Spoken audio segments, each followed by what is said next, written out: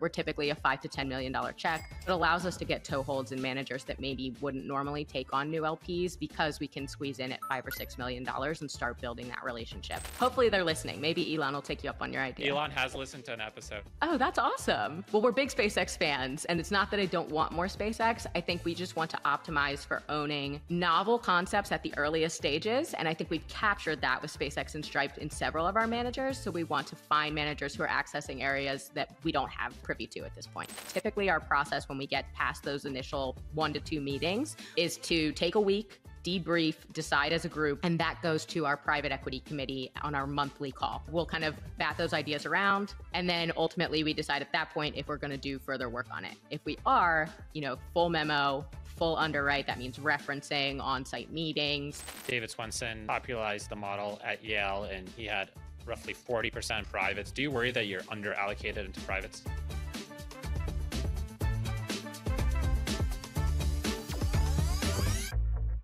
Trish, I've been waiting three months. We've been going back and forth uh, to get you on the podcast. So I'm very excited to chat. Welcome to 10X Capital Podcast. Thank you so much for having us. I'm excited to be here.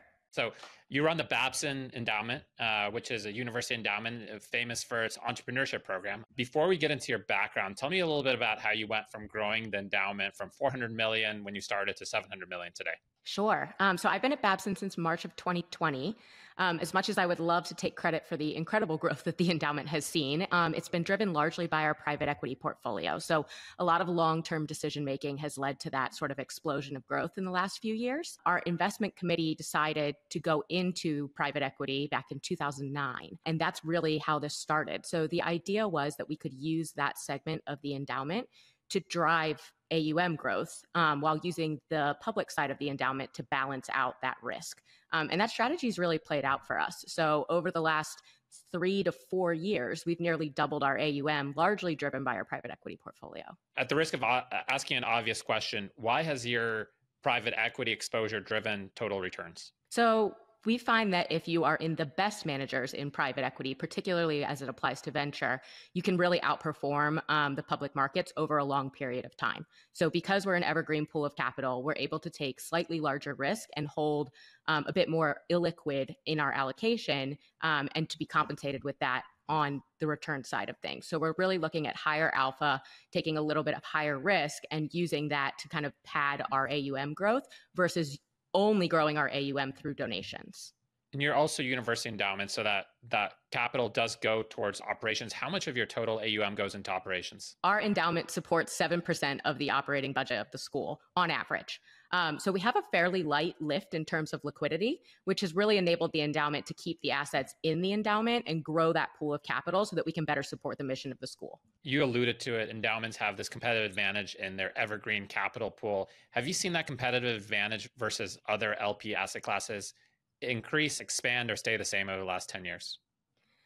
I think it depends on on the LP's strategy. So for us, I would say that advantage has increased over the time that we have been doing this, particularly because of when we started, right? So if we started our, our portfolio in 2009, sort of on the heels of the great financial crisis, um, that allowed us to capture kind of some of the best vintages of that era. And we were starting from scratch. So longevity has really played to our favor in that sense. We've seen a lot of those early investments just now materialize. So at Babson, we're really focused on DPI rather than IRR. So I, I don't know that returns differ across different types of LPs, but your goals are different. So for us, we're much more interested on the cash on cash return to the endowment rather than how long that might take. Play devil's advocate.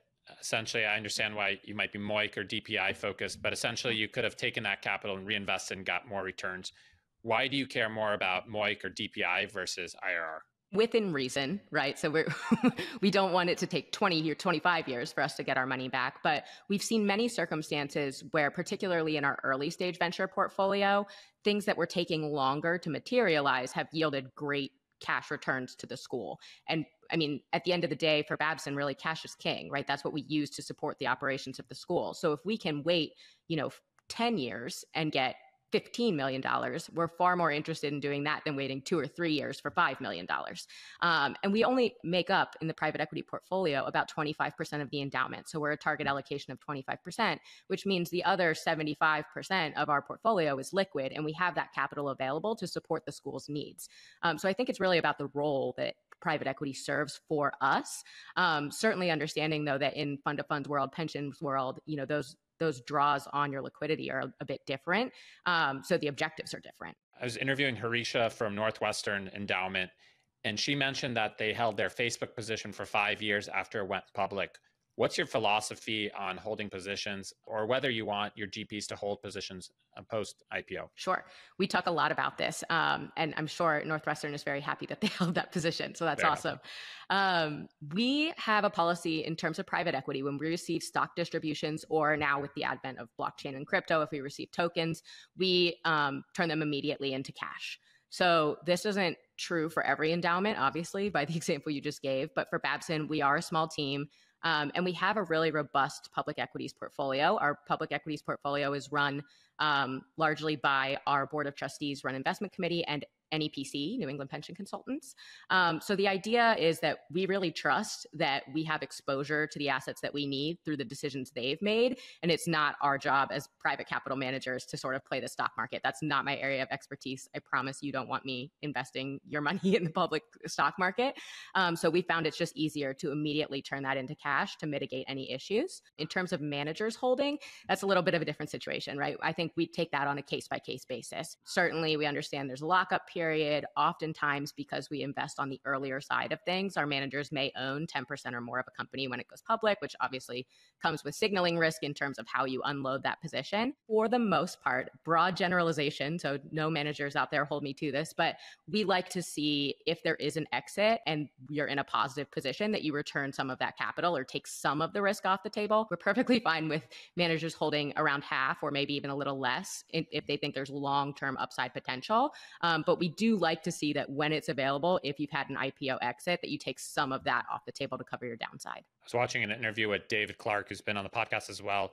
And he mentioned that he believes that his GPs have an inside advantage after the company goes public. Obviously, uh, in terms of the strength of the management team and the long term plans, what do you think about that? I think it depends on the situation. Um, I think we've certainly seen circumstances where that is true particularly in some of the larger IPOs that have happened in recent years that were big success for Babson, um, some of which they're still managers of ours are still holding on to. I think it depends on the level of involvement that the GP has with the manager. I think the opposite of that can also be true, right? If you invested at pre seed or seed, you know, by the time you go to IPO, you're likely not still involved to the extent that you were when you first started. Um, and so, in that regard, I think it it makes sense to sort of take your win. Um, but that's why I say it's a case by case basis. I think what we've really focus on, it largely across the board with our managers is trusting their process right? So if if they say that they're holding on to a position because they have you know asymmetric knowledge then we have to believe that and support them right? We're never going to pound the table and say what are you doing? Get out of this now. That's that's why we pay them the 2% right? Because they know better than us um, the information that's available to them. I think what we want to see is that the decisions that they're making in those circumstances over time are yielding the best possible result yeah, there's there's both an alignment of interest and a conflict of interest. Alignment is understanding the team and knowing the prospects of the company. The conflict is, of course, they're still continuing to charge two per two and twenty on that public asset. I like to believe that, especially the managers in our portfolio, are acting with our best interest at heart. I mean, I think we talk a lot about alignment of interests because I think if you think about the structure of a venture fund in general, there there's inherently opportunities for conflicts of interest all throughout how it's set up. Um, so we try not to be too cynical in how we approach that.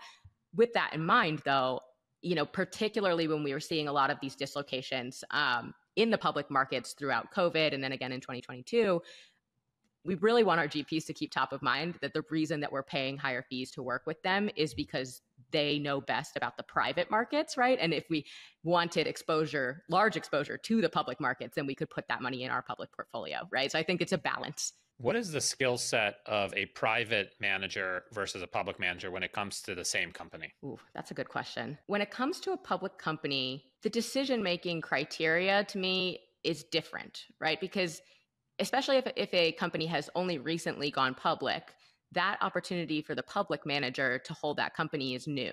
Whereas for a private manager, it should be kind of the win, right? That's what we've all been building up to this whole time. So I think duration is certainly a consideration there, right? If you're a private manager and you've been holding a position for eight years, that's very different than something that newly IPO'd that a public manager can go into. I also think you have to consider the role that the asset class serves in most people's portfolios. In public market, the return spread is tighter, right? Like you can outperform by a few percentage points and that's considered a win, right? Versus the S&P or I mean whatever your benchmark is. And in the private markets that's just not true because we're paying higher fees, waiting longer term and taking liquidity risk. Like we want to see significantly outsized returns compared to that of what we could get in the public's public market. The first ever investment I made in 2008 uh, in the venture asset class, it took seven years to crystallize. And with all said and done, that's a pretty quick timeline. Yeah. How do you build the patience necessary to be in the venture asset class? Ooh, um, I'm still working on it. I think um, it's. I think you have to use all of the information that's available to you and feel confident that you've made the best decision with that information. Um, we talk a lot about this at Babson that this job in terms of allocating to venture capital and private equity is a little bit more art than science especially when you're getting into the venture capital side of things. You have to really trust your partners. You have to believe that they can identify things that other people don't see. And you have to remember that like you're paying them to be creative and to think outside the box and to take risks and that takes time to materialize. So you know we try to collect data along the way so that we can get a sense of where it's going um, but we're never going to really know until normally eight to 10 years in if we're doing the right thing with a fund. And that's something I think you build a muscle for. You have to have conviction. I think that's something we've done to sort of build that patience is we don't do anything unless we're highly highly convicted in what we're doing and that sort of patience in decision making allows you to be patient in terms of returns. I think where you start to have that sort of anxiety around what's happening, is this the right thing to do, is when you took a risk that maybe you weren't quite comfortable with yet. I think a lot of people say, What stock should I buy? But they never ask the more important question is when should I sell? If you don't have a thesis going into to the stock and the catalyst for for growth, telling somebody to buy somebody to, the, buy something the moment it goes down, they're they're going to have weak hands. That very much plays into sort of the hype cycle trends that we see in venture.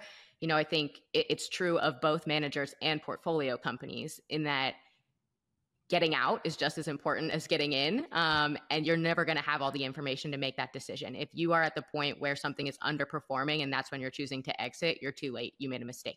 Um, so I think that's where that data collection and, and quick, convicted decision making is really important. People psychologically always want to sell when it's down and buy when it's up. Uh, that's why I find illiquidity quite a feature in the venture asset class. Oh, it's true. Although I do think the secondaries market is a pretty interesting illustration of that. Still, we saw a lot of people testing the market with with things that they were looking to unload, and it's just an interesting thought exercise because you know as you're thinking about it, you're not getting paid what you want for that asset class. You're only moving on it because you feel squeezed. Um, so I think there's while illiquidity helps, there's still a mindset that you have to remind yourself to be patient and see it through. What is Babson's strategy on secondaries? Do you ever sell LP positions? So, thankfully, we are very thoughtful about the partners that we choose. So, we haven't had a lot of turnover in our in our portfolio. We have 16 manager relationships. 12 of those are active, just meaning we've done their most recent fundraise. Um, one of those was acquired through a secondary. So, we were very fortunate in that an LP of one of our managers needed some liquidity quickly. We were able to get a position in their fund one and their fund two, and that's how we started the relationship. That's one of our um, lower middle market buyout groups. Um, so I would say in that sense, we'd love to take advantage of it from there. It's not something that we heavily monitor just because we have such a small team. I think our sourcing efforts are better focused elsewhere um, and we can build high conviction relationships um, through other portals, but we certainly keep that open minded in times of dislocation. Um, I think it can be a really interesting entry point. In terms of selling into secondary markets, fortunately, we've never been in a position where we needed to do that. I think there can be some negative selection bias there. As I mentioned, you know, Babson is pretty fortunate in that we support a small amount of our school's operating budget. So liquidity crunch isn't typically an issue for us, which means if we're looking to sell a position, it's probably because it's not performing that well. um, and that's, you know, never a position of strength to be selling from is because something's not doing what you want it to do. Fortunately, we haven't had that issue. Um, I think we've been pretty thoughtful in both relationship selection and just choosing high quality investors. In in terms of selling via secondary, it seems like even when the manager is performing poorly, you would still have to take a 20 to 30% discount off the NAV. Is there ever a reason to sell via secondary outside of liquidity issues? We haven't run into this before, but if I am purely speculating here. I think the the outside of liquidity issues, the only time you would really want to do that is if you were drastically over allocated. That's another place we've been very fortunate. I think, you know, our, our target allocation is 25%. I think at maximum we were at like 32%. So we never had to take a pause or take our foot off the gas, which I'm very grateful for. Um, but that's the only circumstance I would think that it makes sense in. The other times that it makes sense is if you are starting over, right? If someone's building a venture portfolio from scratch, they might have a legacy portfolio. Um, it can make sense to kind of bundle that up and just sell it for whatever you can get for it so that you can have a fresh slate. Maybe you've hired a new team. Um, so there's circumstances where I think it makes sense, but it's certainly not my first choice. Would you ever acquire stakes at par in order to access uh, to to a relationship that you want for long term? That's an interesting question because we are so relationship focused. You know, even if it takes a long time for us to access funds, we want to have that buy-in from the manager. And so, if we were having to buy at par to get access to a fund to me i'm sort of inferring from that that we've tried to go through the front door and couldn't get in and, and so then i think the question would really be is this the right alignment of interests you know we don't want to be where we where our partnership's not wanted and i'm sure that gp wouldn't want that either. Um, so I'm not sure. I think it would depend on the circumstance. Trish, you're so likable. You represent Babson Endowment. Why would a GP not want Babson in their fund? I don't think we haven't really had that circumstance. Babson is, I think many mm-hmm. GPs resonate with Babson just because of the mission, especially in the venture world. I think largely the reason that we've ever been access constrained to something is simply that it's oversubscribed and we got there too late. One thing that I have playing to my advantage, it's very nice of you to say I'm likable. I'm not sure that everyone would agree, but I think I am a small check, so that's an easier sell than you have to like Trish DiGirolomo. You know, we're we're typically a five to ten million dollar check one to two million dollars is really meaningful for us. So it allows us to get toeholds in managers that maybe wouldn't normally take on new LPs because we can squeeze in at five or six million dollars and start building that relationship. So in that sense, I'm very fortunate. My job's quite easy in terms of sell. Um, you know, we're we're never going to be your biggest check, your terms driver, high demand LP. You know, we really just want to be supportive partners, long term oriented. Um, and the chances that we're ever going to be above a $10 million check in the next 10 years or so is probably pretty slim, barring some sort of huge outcome. So um, it has been very a great selling point for us to access some managers that are typically a little more oversubscribed. Speaking of access, what value add does Babson bring to a fund? You know, I think it depends on what the fund is looking for. I I think Babson has a very sophisticated alumni base, many of whom are allocators in their day job, and then several of whom are also venture capitalists or buyout managers. So I think we have a really good understanding of how the private equity landscape works. And I I like to think, and maybe my managers would disagree with me, but that we're pretty good at reading the room. Um, so, you know, there's many managers that we work with that are really well established. They've been around since, you know, the 90s or even the late 80s, and they don't need a whole lot from Babson. They need us to you know, send our capital calls on time, come to the annual meeting with thoughtful questions, um, and you know continue to be supportive partners and, and we're fine with that. We don't need to be heavily involved. And then we have other managers who you know maybe are a little bit newer or are looking to put on events or have um, you know mentoring programs that we can get involved in. I, I think the great thing about Babson is it's a place for creativity and for thinking outside the box. So I don't think there's really ever been a circumstance where a manager's asked us for help with something that we weren't willing to jump in and do. You know, because we are on the smaller end of the check size, we're not typically on LPACs, but we will join advisory boards. One of our biggest assets to GPs is really being flexible. You know, whatever they need us to be in terms of a partner, we're willing to do that. You guys leverage your alumni base maybe more than any endowment I've ever interviewed. How do you leverage your alumni base? Sure. So there's a number of things at play here. It's a little bit long winded, so bear with me. Um, so we think of our endowment kind of divided down the the middle, or I guess the quarter. Um, a quarter of it's in private markets, the rest is in publics, real estate, fixed income. We manage the private markets portfolio totally in house. So while I'm responsible for the entire endowment, I'm only a true decision maker when it comes to private equity. I have one associate on my team full time, uh, and that's sort of our investment office, if you will. And then two people two people but there are much more of us involved i promise it's not, not just us so then the board of trustees um, runs our investment committee which is made up of all babson alumni. They all have specialties in different asset classes whether that's public equities fixed income any of those i just mentioned. And they partner with nepc who has been with us for over a decade. They're fantastic to make decisions regarding our public equities portfolio um, really anything that falls outside the realm of private equity. So that's one way we leverage the alumni. Then, when we established the private equity program back in 2009, they established a subcommittee, which is an advisory board, basically called the Private Equity Committee. That's another group of alumni, six individuals who are all in the private markets world in some capacity that serve as an advisor to the decisions made for the private equity portfolio. So, in the same way that NEPC consults on our other asset classes, the private equity committee consults on our private markets decisions. Um, so, the board of trustees and myself are the fiduciaries for the school, but those groups, two groups of alumni, are hugely instrumental in all of the decision making that happens there. In addition to that, we also leverage the Babson MBA program. Um, we hire two students every year for a two year rotational basis um, that serve as the analysts to support our associate on the team. So rather than having a full time analyst position that turns out every two years, we leverage two students from the MBA program. So we have four working at a time um, who help support our investment team in terms of data analytics and things of that nature. How competitive are those positions?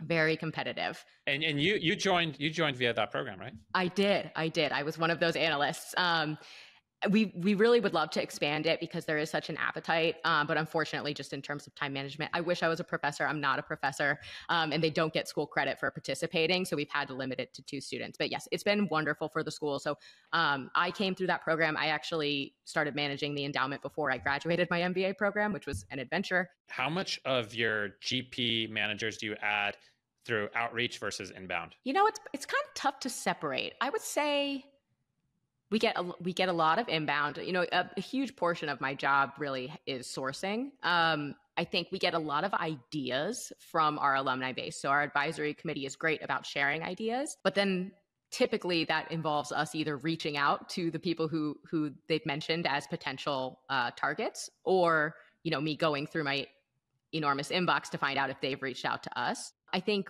we're very we take kind of a sort of a barbell approach to this, I guess you might say, in that Babson is never going to deny someone at least a 15 or 30 minute intro call. Um, we want to make sure that we are covering a very diverse set of managers, a very broad universe, and that we never get stuck in the trap of like, we only take warm intros. That being said, warm intros are really important, right? And some of our most successful uh, relationships have come out of those kind of connections through our committee or through another Babson alumni. And so we value those greatly. So what that ends up meaning is we probably take, you know, 500 to 1,000 inbound calls a year that go into our pipeline and we monitor those relationships and try to keep up with them as best we can. But when we see something that really fits what we're looking for, we go after it pretty hard. And that I would say falls more into the category of outbound. You know, then the onus is on us to check in and, and try to get in front of those people ahead of their next raise. What exactly are you looking for? Yeah. So I think I'll give my sort of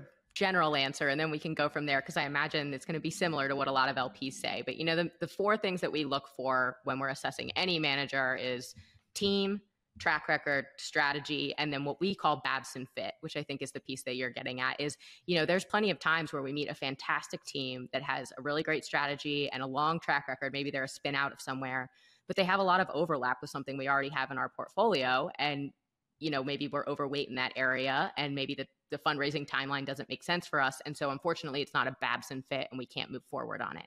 So i think that's the trickiest part of our uh, sort of investment thesis to get gps to understand is sometimes it really is like not you it's me. Um, i think being honest when it is them and not me makes that a little bit easier to believe. Um, but that you know that's kind of the core criteria of how we assess so that means that what we're looking for kind of shifts depending on how our portfolio um, is looking. You know, right now I think we we are focused a lot on remaining open minded in venture, not trying to get too prescriptive in terms of we only do funds of this size or we only do funds in this sector. I think you have to go where the best people are, and they will lead you to the best returns. So we try to lead with that in our decision making. Um, but you know, we're about 80% B2B technology. So if we're going to do a B2B technology fund, it has to have complementary networks. It can't be a pure network overlay to what we already have access to. just to play devil's advocate there, if you had two funds that were in great assets, call it SpaceX, Airbnb, and Stripe, wouldn't you want more exposure to that? Why are you optimizing on diversification? It depends on the maturity and makeup of your portfolio. So short answer to your question is yes. If I could have, you know, SpaceX and Stripe in all of my managers, I would happily do so. But we are already at, you know, about 27% of our 25% allocation. So we're really in a phase of augmenting rather than building, right? So what what we have in front of us we're able to look at and say, okay, we have overlap of probably of our 16 managers, maybe four to six of them overlap frequently. And so if we're going to add something, we want it to be exposure to an area that we believe has outsized return profile that we haven't accessed yet. So we're really looking for inefficiencies in the market that we haven't yet covered. And I think where people kind of fall into a trap in venture, and this is purely my opinion, but how I think about it is I never want Babson to be in the position where we're just chasing what everyone else is chasing, right? And when people entered SpaceX and Stripe, they weren't so obvious. But now there's a million managers who have SpaceX and Stripe at all different stages of venture, and the return profile is going to yeah. Not, not Stripe, SpaceX. well, it's a great asset to own. And we have a lot of SpaceX in our portfolio. I'm just hoping they're going to do some asteroid mining. I'm trying to inception the idea, but we'll see. Hopefully they're listening. Maybe Elon will yeah. take you up on your idea. Elon has listened to an episode. He, he did uh, he did uh, tell Scott Painter. So uh, he has listened to at least one episode. oh, that's awesome. Yes. um, well, we're big SpaceX fans. And it's not that I don't want more SpaceX. I think we just want to optimize for owning – novel concepts at the earliest stages. And I think we've captured that with SpaceX and Stripe in several of our managers. So we want to find managers who are accessing areas that we don't have have privy to. You're looking for diversified asymmetry. Yes. We'll continue our interview in a moment after a word from our sponsor. Most businesses use up to 16 tools to hire, manage, and pay their workforce. But there's one platform that's replaced them all. That's Deel. D E E L. Deel is the all in one HR and payroll platform built for global work. Smartest startups in my portfolio use Deel to integrate HR, payroll, compliance, and everything else in a single product. Focus on what you do best, scale your business, and let Deel do the rest. Deel allows you to hire, onboard, and pay talent in over 150 countries, from background checks to built in contracts. You can manage the entire worker lifecycle from a single and easy to use interface. Click the link in the show notes below to book a free, no strings attached demo with Deel today. You called it diversified alpha. What do you mean by diversified alpha? So, I think the way that we think about this is we want, of course, alpha in all areas of our portfolio, right? The, the goal of the endowment is to multiply and preserve our capital. But I think where we diversify is we don't want all of our eggs in one basket, which this is not, of course, a revolutionary concept, right? I think many people believe in diversification. Um, I think what makes Babson's approach different is you know, I think a lot of times people think about diversification as a way to consistently outperform benchmark, but avoid the extremes, right? And that's not really our goal at Babson. I think we want to use our venture and private equity allocation to capture as much of that upside as possible, but then diversify throughout our public portfolio so that we're not too overexposed in a way that we're uncomfortable with for any one market cycle. So we did, you know, coming into the 2020 dislocation, we had a growth tilt both in our private equity portfolio, obviously, but then also in our public portfolio which served us really well. I mean, it was a large contributor as to why we've had so much growth in the endowment, but we took it as a moment really to rebalance and say, you know, we're still capturing so much of this growth tilt through our private equity portfolio. Maybe we'd be better served in this next market cycle to have a little bit more value in our public's portfolio. And so I think that when we think about diversified alpha, that's what we mean is how can we make sure that we're not playing it too safe and we're still looking for alpha, but we're not overexposed all over our skis in one sector, stage, allocation, anywhere. Even though you don't have liabilities or funding liabilities above and beyond the 7%, are you implicitly underwriting to some return threshold? Yes. So we underwrite, and I speak only for the private equity portfolio here. I think our return threshold varies um, more across our other asset classes. But in private equity, we underwrite everything to a minimum of a 3x net.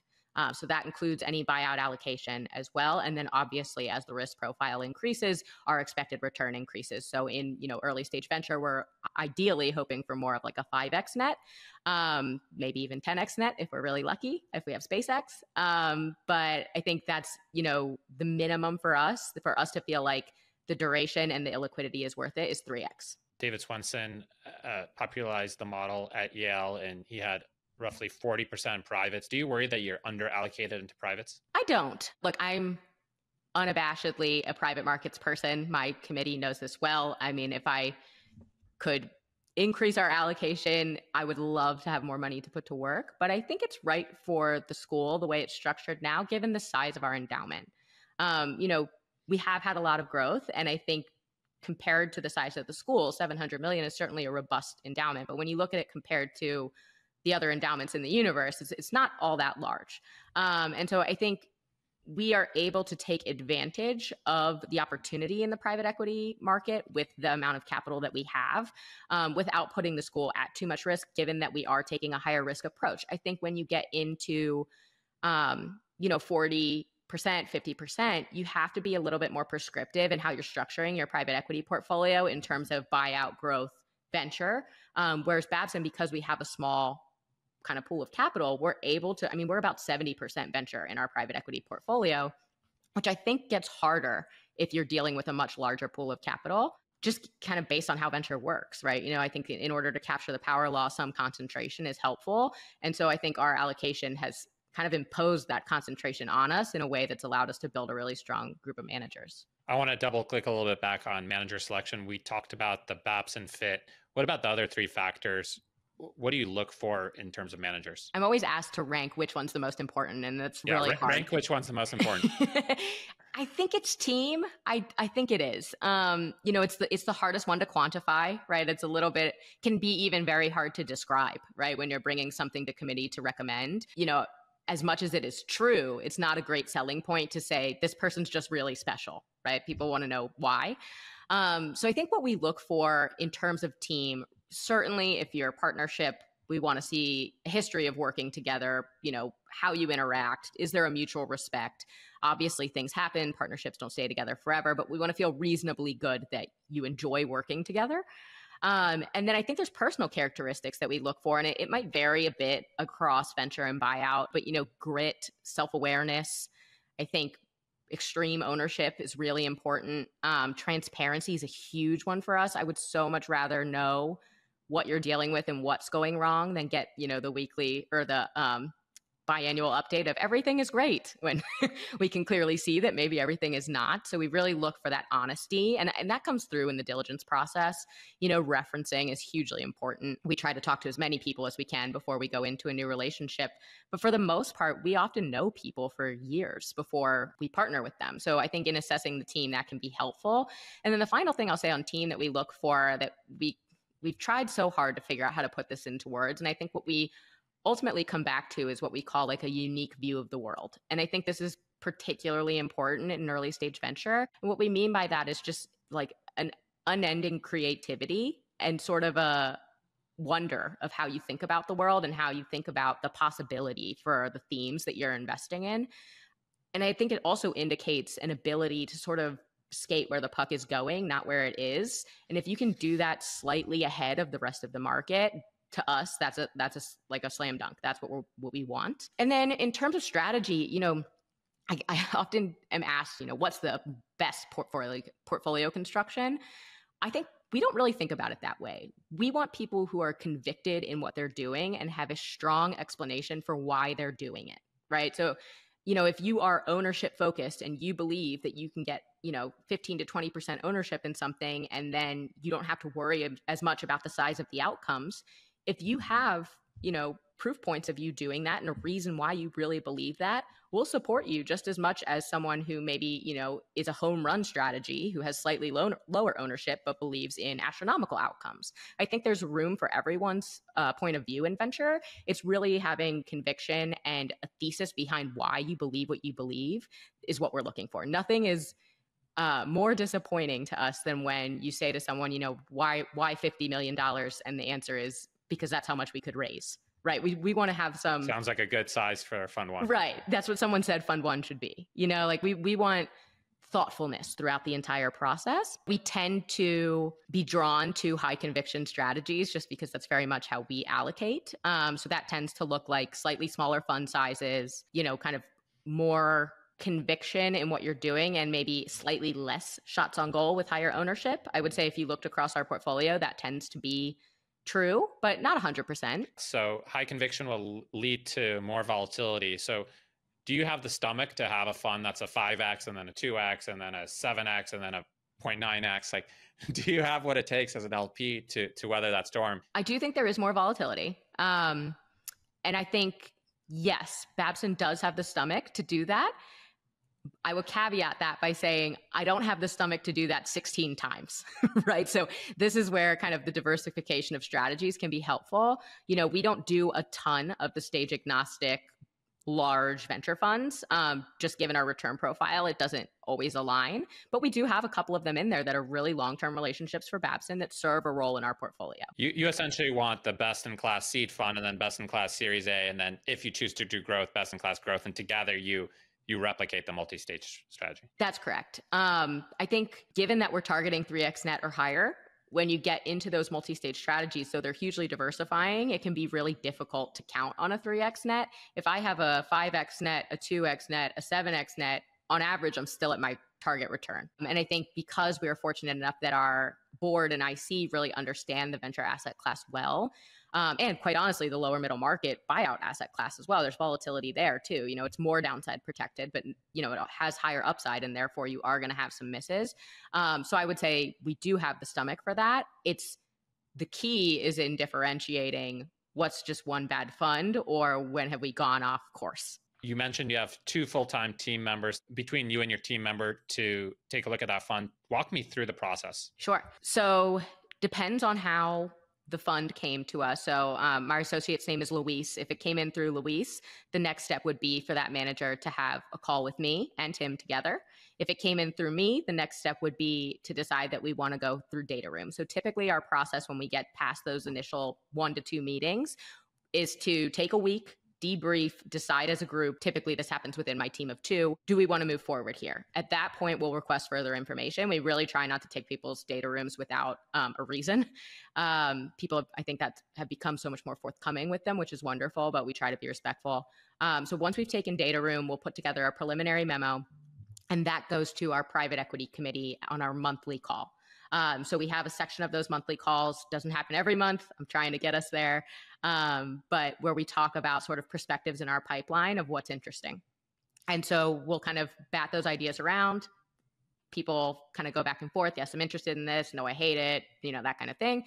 And then ultimately, we decide at that point if we're going to do further work on it. If we are, you know, full memo, full underwrite. That means referencing on site meetings. Typically, this is where the more robust data analytics would happen for private equity managers as well. You know, I'm not going to have my team do full value bridge and, and things like that if we're not leaning in. And then from there, that process probably takes, you know, two months on average. Uh, and at that point, we will vote at the private equity committee level on a recommendation.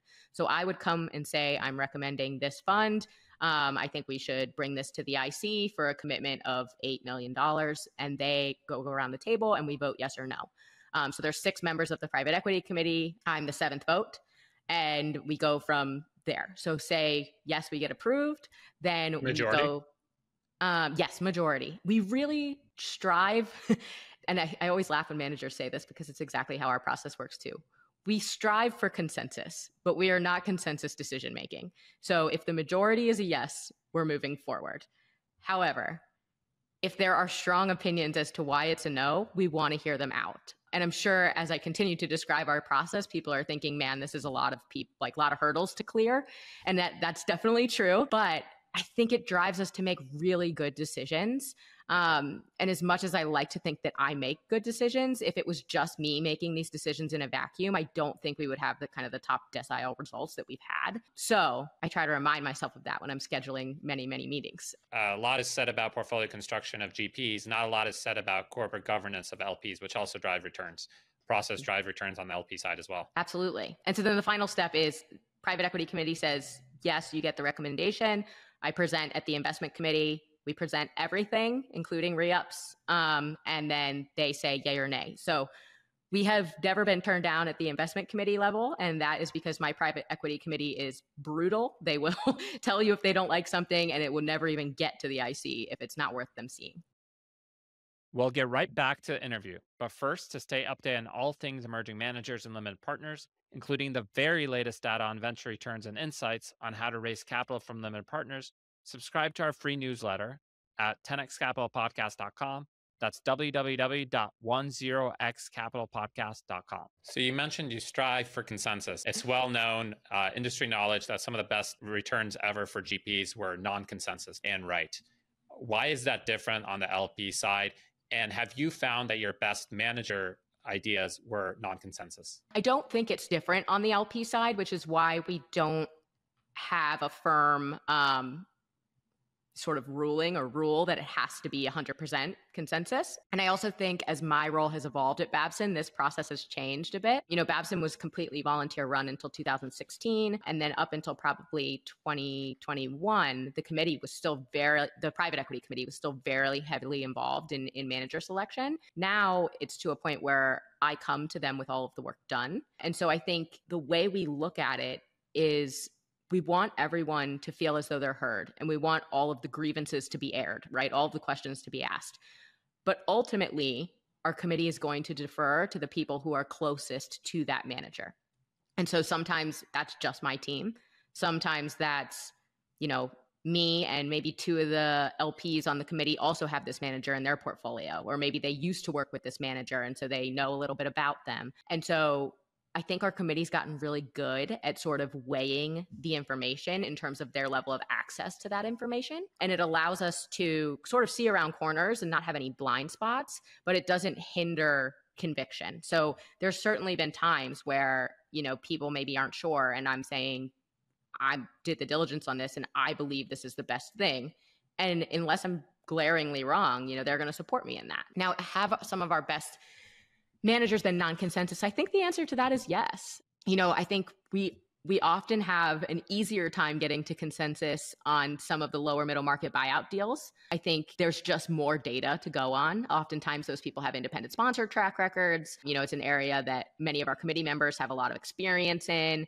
And so I think we've done really great deals there, um, but those tend to be more consensus. And then I think some of our venture deals, I think people try to defer to the people who are the highest or I guess have the highest level of information.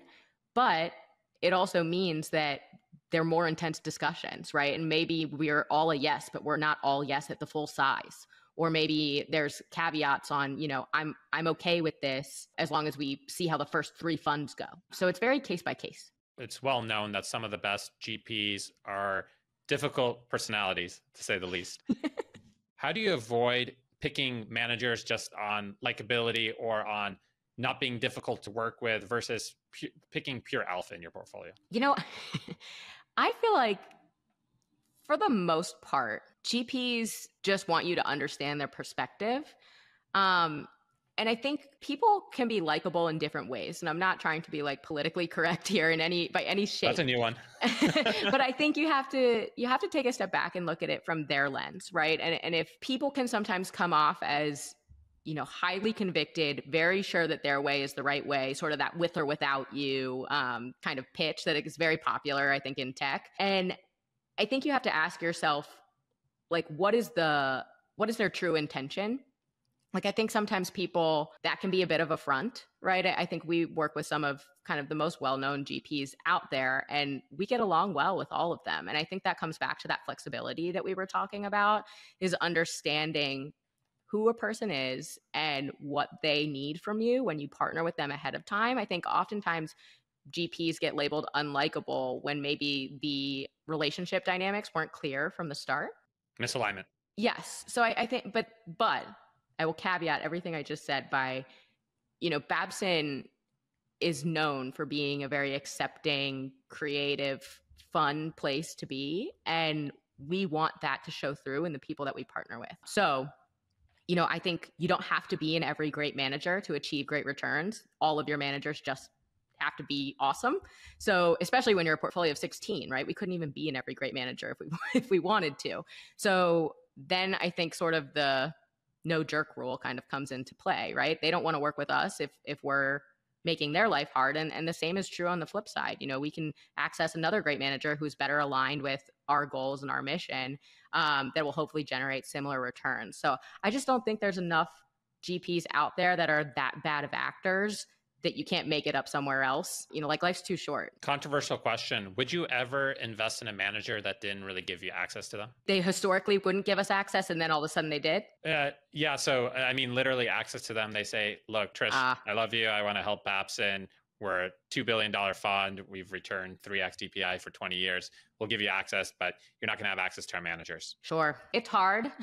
typically, typically that doesn't happen off the bat, right? To, especially the way Babson invests. I've seen, by the way, big private equity funds with side letters that say if you invest less than 10 million, basically it's, it's more than a hypothetical. I thought it was very cool. It made me very excited that I was in the fund. Yeah. I'm like, you yes. don't need to ever talk to me. Just just give me returns. Just give me returns. Yeah, I mean, I think it it is circumstantial, right? Like, it, if you're going to act that way, you better back it up. But those side letters definitely exist. Um, the key question for Babson is: Are we meeting all of our fiduciary and gov- governance responsibilities? If the answer to that is yes, then fine. You know, I, I mean, I, I, don't think that we've had that circumstance come up too frequently. For the most part, our managers are very engaged with us and, and try to be great partners across the board. I think where we see this the most is as generational transitions start to happen, right? There's someone else kind of moving into that personnel management or LP management role. And as much as you might try to reach out to your old contact there, you're being consistently redirected to that other person. And that's okay. I think that's the evolution of a fund. Now, if we were underwriting something brand new and they said, we're busy, you know, these are the returns, investor don't, that's a different story. That's probably a no.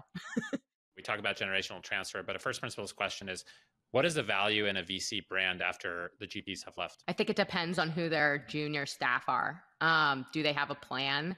You know, there's there's a thousand examples of where there is no value left, right, and everything just kind of shuts down. I mean, I think is, generation- is that determined like a decade before through apprenticeship? Essentially, that can't be done just in time, correct? Yes, I mean, I think it could be done just in time, but it likely won't be successful. You know, there's exceptions to that rule. If you know something happens with a managing director and there's three other GPs there, maybe the ethos of the firm stays. But the most successful generational transitions we've seen are planned far in advance. And ideally, they happen before the generation that's transitioning is gone, right? When it happens suddenly, I think that's where there's issues. But certainly, I think more generational transitions go wrong than go right. Um, we have probably three groups in our portfolio who have undergone generational, four, four actually, um, that have undergone generational transitions that have been very successful. And I think what they did was the person who took over the firm has been there for 20 years since they were an associate and you know they they know the ethos and they're able to keep all the trains running on time um, i also think it depends on the structure of your fund right like if you're one of the more boutique seed stage funds that have three partners and a cfo there is no generational transition, right? You essentially have to hire your replacement. Like that's really difficult to do. I think in the larger firms, there's more infrastructure to support what's built. Um, and that makes the generational transition a little bit smoother. Absolutely. Well, I felt like I got an MBA in this in this uh, chat, Trish. I really appreciate it. I really appreciate you allowing me to, to probe uh, on all these controversial topics. Um, what would you like our audience to know about you, about Babson, about anything else you'd like to shine a light on? I think, I mean, you know, we just really want to continue to support the private equity ecosystem at Babson. Um, you know, we're very active in the early and seed stage areas of the venture market, in the lower middle market buyout market. And we're true believers in supporting innovation and furthering entrepreneurship. So, to the extent that we can be helpful um, to, you know, GPs, founders, anyone, you know, please don't hesitate to reach out. But this was really fun, David. Thanks for having me. Uh, it was my pleasure and look forward to seeing you very soon. Awesome. Thanks, Trish. Thank you. For more ideas on how to raise venture capital in this market, make sure to subscribe below.